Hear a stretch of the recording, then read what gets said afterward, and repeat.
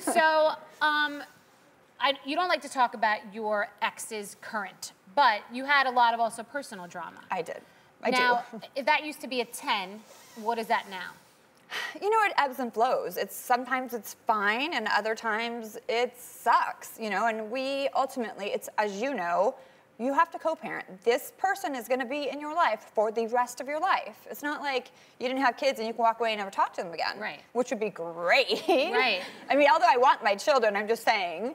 Um, and how do you reconcile that in your mind? Like, why did this happen to you? Why do you have to deal with this? How do you reconcile that? How do you kind of what's there's got to be there are always checks and balances. So what's the, besides your children? What's the positive?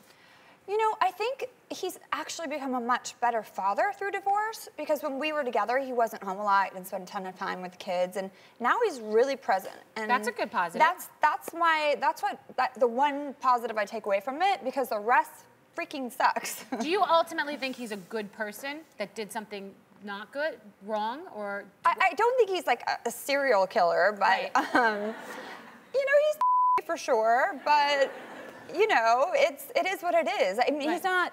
If he saw someone that needed help on the side of the road, he probably would help them. I right. mean, he's not a bad human being. I understand. He's just a. Sh- that's a bad word. That's a bad. Right. He's not a good. He wasn't a good husband. Got it.